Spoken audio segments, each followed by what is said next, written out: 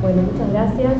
Eh, perdonen que voy a estar sentada porque voy a, hacer, voy a tratar de demostrar la herramienta andando. Eh. Eh, estas herramientas que se desarrollaron en el marco de este proyecto son dos. Una de ellas es una herramienta web eh, de estilo geográfico para poder mostrar las capas eh, generadas por el proyecto y la otra es una herramienta móvil para poder usar esas capas en el campo, una de escritorio y otra en el campo que se complementan entre sí. Eh, la herramienta geográfica, aquí tenemos el link, lo que permite bueno, es visualizar las capas que estuvo mencionando ayer, las de ambientes, las de tipificación, las de altitud, el CONIAT, etcétera Permite realizar búsquedas por padrón por diferentes capas del proyecto. Eh, presenta las fichas de cada ambiente. Cada ambiente tiene una ficha que tiene los datos de suelos, de vegetación, la productividad presentada en diferentes eh, este, periodos de tiempo, el balance hídrico, carga animal, etc. Se permite también hacer este, reportes por padrón o cada este usuario puede dibujar una forma en el en el territorio y que salga un reporte este, que tiene varias información eh, asociado a ese dibujo que el productor hizo. Tiene un planificador de dotación que cuenta con, también con su propio reporte, permite realizar medición de áreas y distancias y eh, importar y exportar eh, capas o datos geográficos, tanto de Google Earth, KML, por ejemplo, como de la aplicación móvil. Permite, por ejemplo, si estamos en el campo y realizamos un recorrido, generamos un polígono, lo podemos importar y verlo acá y, trabajar eso, con ese polígono este, los datos en, la aplicación. Y también nos permite realizar impresión de mapas. Estas herramientas se desarrollaron con el criterio de eh, seguir la metodología de trabajo que se generó en el proyecto. Eh, hay un capítulo específico en la, publicación que ya está disponible a partir de este lunes en la página de línea, con, como serie PTA 73, eh, que permite, eh, que lo que hace es el capítulo, es el capítulo del itinerario técnico, que permite hacer un recorrido por las diferentes, digamos, etapas del proyecto en el cual se asocia justamente, se trabajó esas dos aplicaciones siguiendo ese recorrido para apoyar en la metodología del proyecto.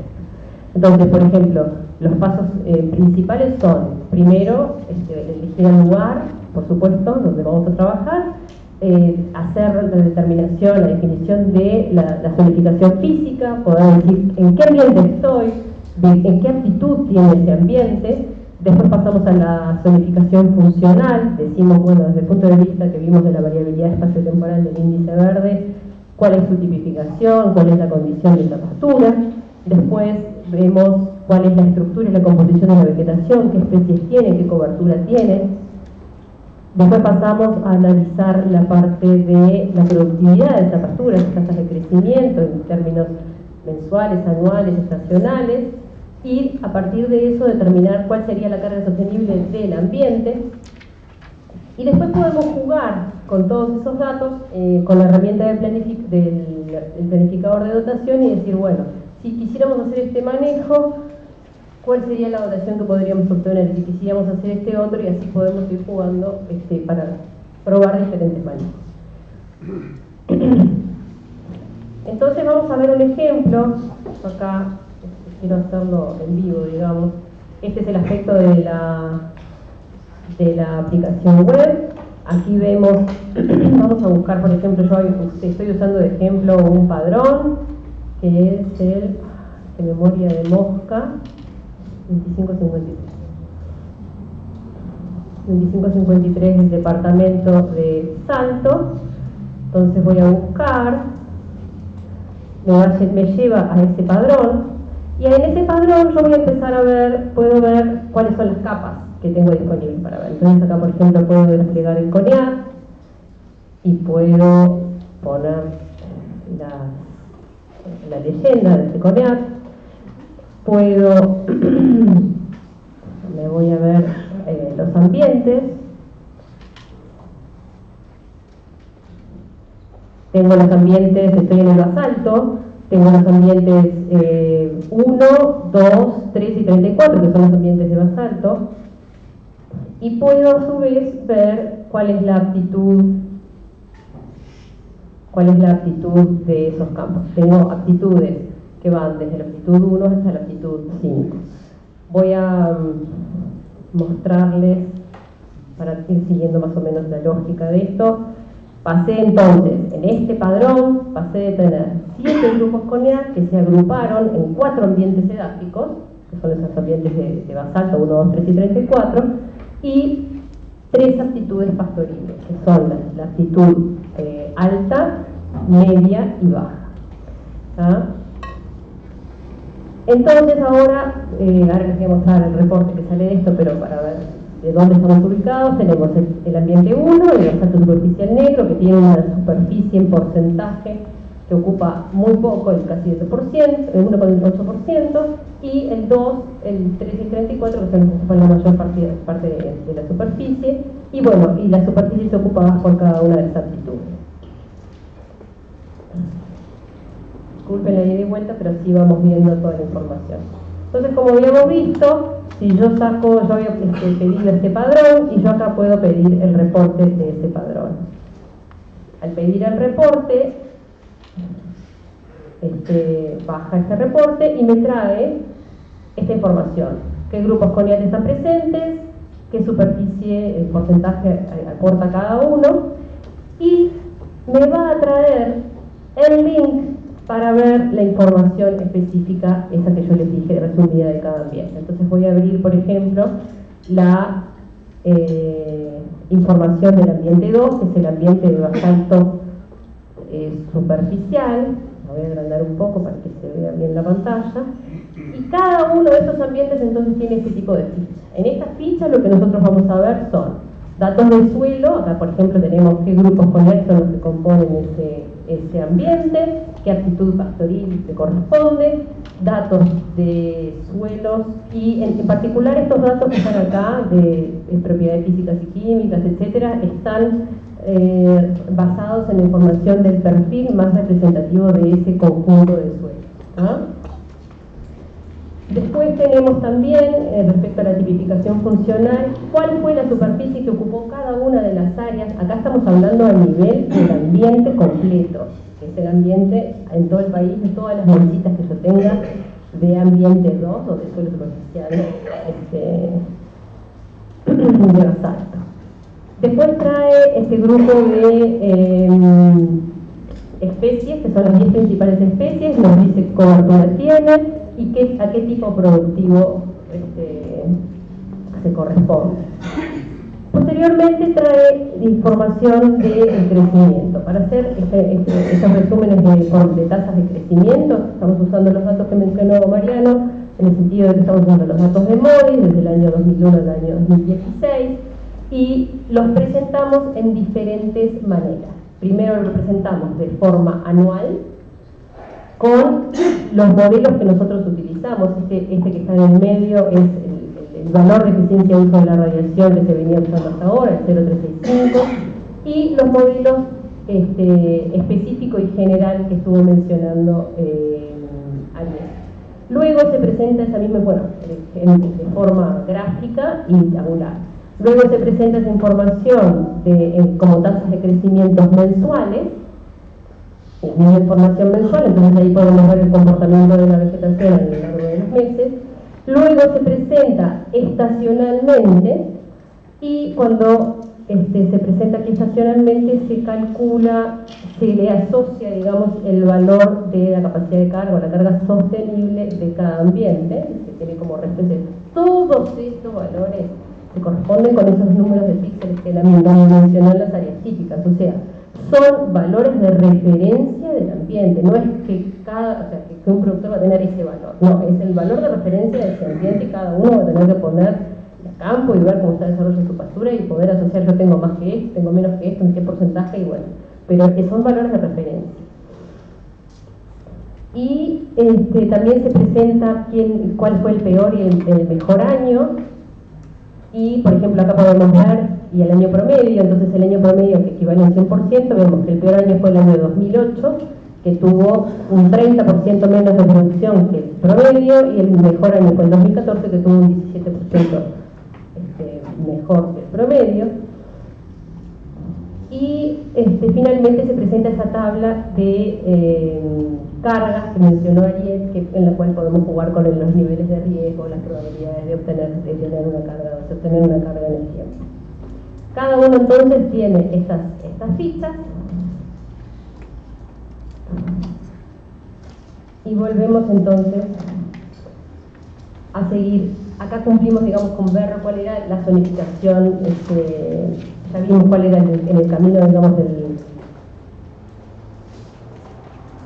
del itinerario técnico, cuál era la zonificación, donde estamos en física, vamos a ver entonces la zonificación funcional.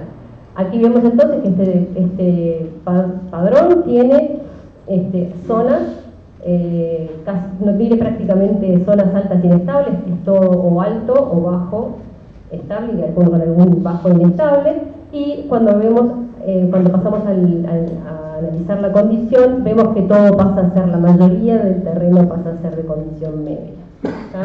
Eso ya nos da una pauta este, del comportamiento de esa vegetación.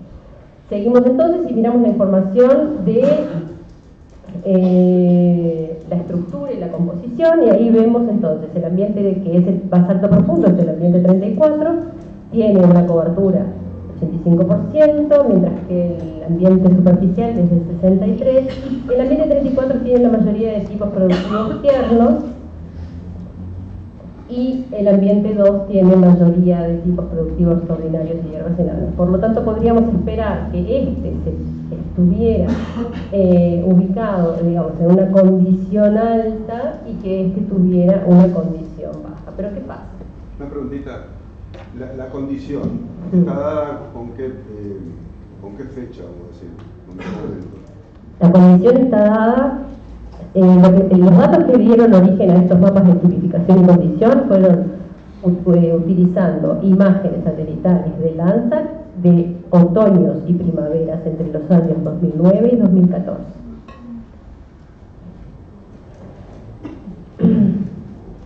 Bueno, eh, continuamos entonces, ya sabemos más o menos, tenemos una idea de la parte vegetal, ahora vamos a la parte de crecimiento. Tenemos eh, por ejemplo, en el ambiente 2, en el salto superficial rojo, tenemos productividades anuales, ay, se me fue, de 3.000 eh, kilos por eh, anuales, y mientras que en el basalto profundo pasamos a 6.000. Y las unidades y las capacidades de carga también difieren, bueno, por esta misma razón. Este dato no está en la, aplicación web, está en la publicación, pero también es importante ver, en estas gráficas vemos en azul cuál es el comportamiento de las tasas de crecimiento con el correr de los meses, eh, a nivel del año, y las, líneas rojas son los coeficientes de variación, considerando toda la serie de años. Entonces acá podemos ver también, es importante, eh, que el ambiente 2 se comporta con un coeficiente de variación mucho eh, menor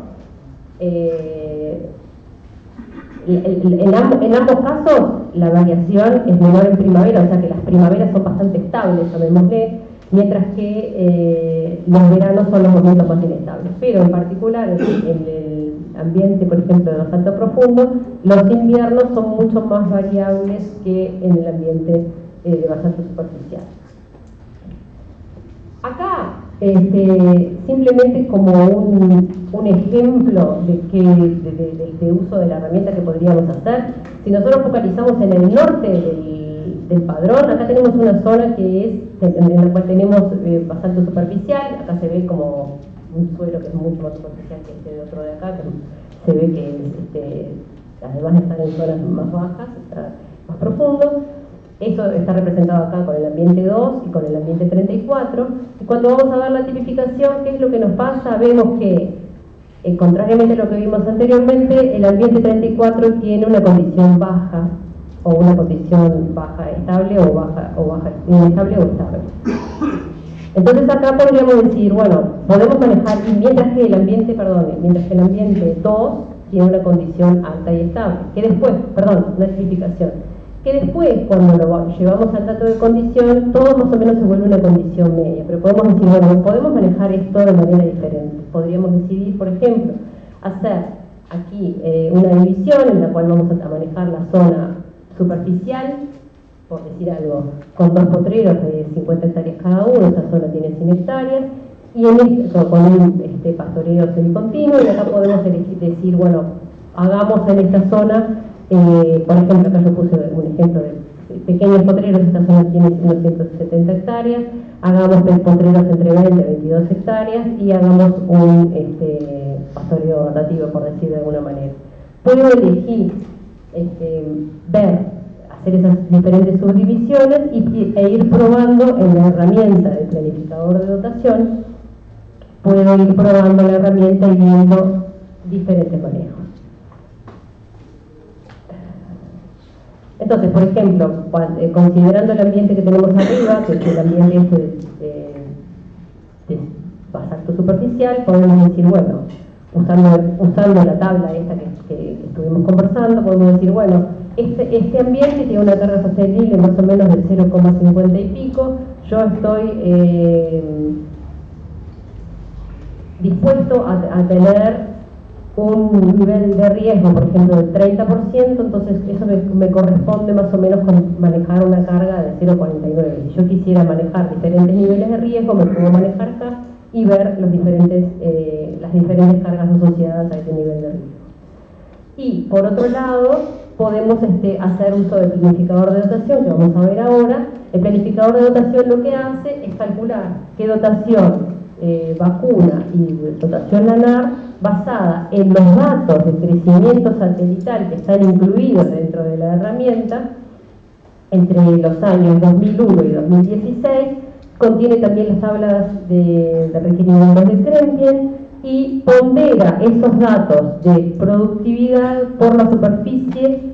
Eh, por ejemplo, si yo tengo en ese padrón un conjunto de ambientes, va a ponderar los ambientes que haya en ese, en ese polígono, digamos, eh, dibujado y va a decir, bueno, de acuerdo a la superficie ocupada por el ambiente de basalto superficial, basalto medio, basalto profundo, que tiene estas productividades diferentes cada una, vas a poder manejar una dotación de tanto globalmente en ese lugar.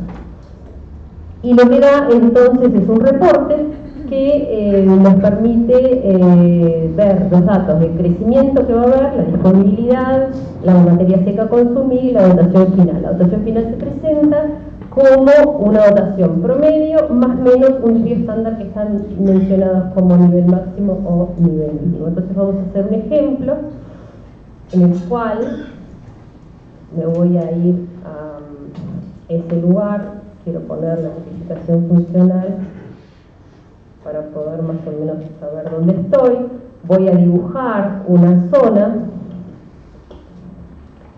pequeña y simulando ese pequeño potrero de veintipico hectáreas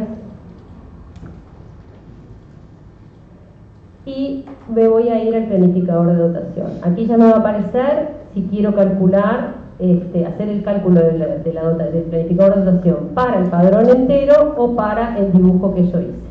Puedo elegir, entonces voy a elegir en este momento qué lo quiero hacer para este dibujo en particular. Eh, vamos a darle, este, por ejemplo, 49 días de descanso, 7 días de utilización, que se corresponde más o menos con esa división de superficie. Vamos a decir que más o menos tiene unos 400 perdón. Sí, eh, no, 400, este, un remanente de 400 kilogramos de pasto. Vamos a utilizar un índice de cosecha de 45. Aquí tenemos dos calidades diferentes de forraje. Podemos elegir 40, eh, de acuerdo a su digestibilidad, 50 o 61. Vamos a dejarlo en 50. Y voy a elegir, por decir algo, hembras eh, de 400 kilos, en mantenimiento por el momento que estamos en el año. Y con una relación a norma 1 de 1 y le voy a decir que calcule teniendo en cuenta estos parámetros la dotación para ese este, lugar. Acá me voy a dar una información resumida, pero voy a pedir que me muestre el reporte. Y en ese reporte entonces vamos a ver esos parámetros que nosotros le ingresamos, este, los días de descanso, utilización remanente, etcétera, no, me va a decir cuál es la superficie que quedó, me quedó chiquitísimo, de la superficie que, del potrero que estoy analizando, los requerimientos de vacunos y lanares, y acá entonces vamos a ver el crecimiento eh, en kilogramos de materia seca. Este, este, crecimiento es el crecimiento de esos 49 días para toda esa superficie, ¿sí? la disponibilidad, la, la, cantidad de materia seca que se puede consumir de acuerdo al índice de cosecha y entonces acá me presenta que tengo eh, una dotación de vacunos en unidades ganaderas y en cabezas para la superficie, esto es para la superficie global, y presenta la misma eh, información luego por ambiente. Eso es globalmente y por ambiente, para el ambiente 2 y para el ambiente 34. Acá entonces podemos ver eh, que tenemos, nos dice que podemos poner eh, en promedio 103 cabezas, con un, acá es lo que yo les mencionaba, mínimo y máximo, es más o menos un desvío estándar, no es más un mínimo y un máximo, es más o menos un desvío estándar, entre 91 y 116. No, era 4 hectáreas del ambiente 2 y eh, 11,67 del ambiente 34. Bien, este, bueno, ya acá había hecho otro resumen y con esto, este, era con otros datos, pero con esto lo que podemos ver, por ejemplo, es podemos hacer cálculos entonces de las tasas diarias que están eh, y, y, de las cargas instantáneas. En este caso, mi ejemplo había, sido con 24 hectáreas y me daba una carga instantánea de 6,3. Bueno, eh, también podemos, eso que nosotros, este, este es el, mismo planificador de dotación que lo podemos utilizar, así como se lo mostré recién, haciendo un dibujo y que la información salga específicamente para ese dibujo en ese lugar, en el espacio, o también lo podemos hacer por ambiente.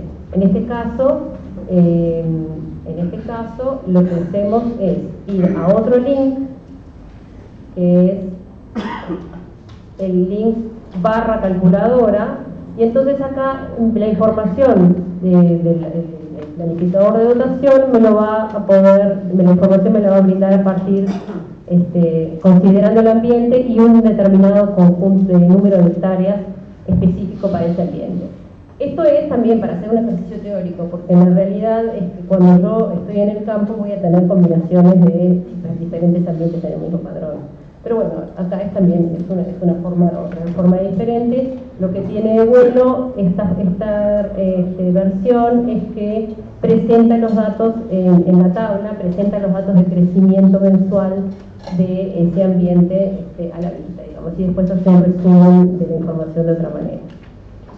Muy bien, pasamos entonces ahora a la aplicación móvil. lamentablemente yo me había preparado todo para poder ver la aplicación móvil, trabajar acá y poder verlo en pantalla, pero acá no, no, no lo pudimos hacer. Así que bueno, les cuento, la aplicación móvil eh, está disponible para eh, Android y para Apple, o sea, para los dos sistemas, para iOS y Android. Eh, los buscan en su respectivo Play Store o App Store, este, bajo el nombre de campo natural y va a tener este aspecto el, logo.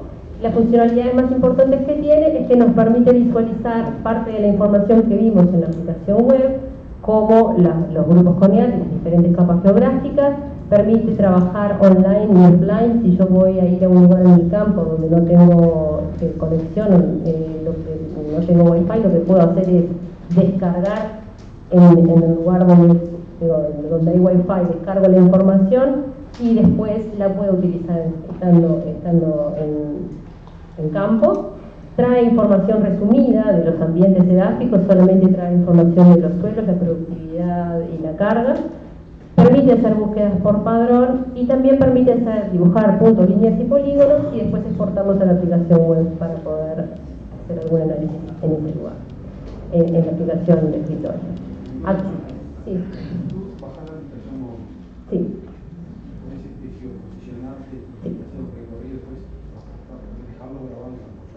Perfecto, Sí, es para eso. La pregunta es si él, estando en campo, puede hacer un recorrido y eh, puede hacer un recorrido y está, digamos, está mirando en pantalla el lugar donde realmente está en el mapa. Y sí, se puede hacer, justamente para eso se creó, se creó para poder llevar esto, esta información al campo mismo. Entonces con, el teléfono vamos, le decimos acá en esta opción que está acá, le decimos que utilice la ubicación y entonces cuando prendemos esto, simplemente nos ubica donde estamos. Es como el Google, eh, Google Maps, ¿ah? en ese aspecto.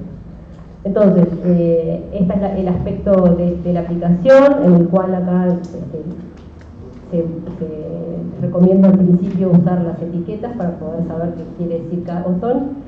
Las etiquetas se prenden acá en este menú y eh, cuando se aprieta el botoncito de las capas vamos a poder ver que tenemos las capas remotas y las capas locales. Las capas remotas son eh, las capas, bueno, que trae eh, el, aplicación, la típica aplicación de mapas, que como por ejemplo la, base de mapas común que tiene Google, este Google Maps o, mm, Google Earth. Y también están las, capas del proyecto, bueno, la capa CONEAD, la capa de ambientes, aptitudes, tipificación que podemos prender y apagar. Y después las capas locales, que son las mismas, pero en este caso se guardan de forma local esto que estamos hablando tú, los polígonos, las líneas, los puntos que tú dibujes, los guardas en forma local. Eh, entonces, por ejemplo, si yo quiero buscar un padrón, voy a apretar este botón del menú, voy a abrir el menú y voy a apretar este botón de padrones. Cuando aprieto ese botón de padrones, me va a abrir la opción de buscar. Los padrones voy a darle, decirle en qué departamento está, cuál es el padrón que quiero, lo descargo y cuando lo descargo aparece en este listado superior. Y entonces, con la lupa me lleva a ver el mapa y le puedo prender la capa de fondo que quiera, le puedo prender los coneados, los ambientes, etc. Y a su vez, si aprieto la flecha, me da información de ese padrón qué suelos CONEAD tiene, qué ambientes y qué porcentaje de, este, la superficie ocupa cada, cada uno de los ambientes y las actitudes. Muy parecido al reporte que vimos anteriormente de la aplicación web. Y a su vez, si para cada uno de los ambientes quiero saber la información, aprieto la flechita y me trae la información, perdón, me trae la información de los suelos la información de la productividad y la información de la carga de manera resumida para estar en campo y verlos en campo. Por otro lado, este, otra de las cosas que se puede hacer es, como dijimos, estoy en el campo, quiero dibujar una zona, acá dibujé un polígono en, estos bordes amarillos, ese polígono lo dibujé, lo tengo guardado en mi lista de dibujos, polígonos, acá tengo el polígono, y lo, con el botón de compartir lo comparto y luego en la aplicación, acá voy a hacer una, en la aplicación web, lo importo y lo visualizo. Y acá voy a hacer, lamentablemente, este, simplemente les voy a mostrar que dónde estoy acá. Eh, acá puedo, al importar datos, esta, acá tenemos para importar los KML, que son los de Google Earth, puedo hacer un dibujo en Google Earth e importarlo para acá, o el eh, GeoSun, que es el formato de la aplicación móvil. Entonces voy a importar un archivo GeoSun que tiene una proyección de Web Mercator y quiero importar, yo ya lo tenía en mis, en mis archivos de, de bajada, lo traigo y ahí me trajo, para que se confunda con el otro que yo había dibujado, voy a borrar lo que había dibujado y ahí lo veo y entonces me trae el dibujito que yo había, este, que yo había hecho en la aplicación móvil, lo prendo, lo apago y después lo borro. Lo puedo utilizar, ese mismo dibujito, yo lo puedo utilizar en la herramienta de, de, planificación para hacer algún análisis sobre ese dibujo. Este, Bueno, y eso es una muestra muy veloz de, del contenido de estas dos herramientas, ¿sí? Cuando estás en campo, Sí. ¿qué tipo de servicio necesitas de conexión? Tenés veo muchas, muchas pantallas en las cuales hay planos, mapas, pues 3G o 4G, porque a veces cuando estás conectado online, eh, 3G es medio lento y muchas mapas. Cuanto mejor sea, mejor. Pero Va a ser más rápido. Como habla de la realidad de Uruguay, que Sí. hay 4G solamente en las capitales departamentales, en las Claro. ciudades medio rurales, 3G. Por eso te conviene, por eso te conviene. Cuando vas a ir al campo, eh, haces la búsqueda de padrón, donde vas a trabajar, descargas las capas, las dejas, ahí van a quedar en la memoria de la aplicación en el taller, y después cuando vas al campo las abrís y lo abrís de forma local.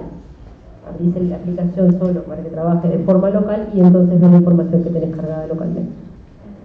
Bueno, ahí están los links y, y bueno, en el Play Store y en el app está la aplicación. Muchas gracias.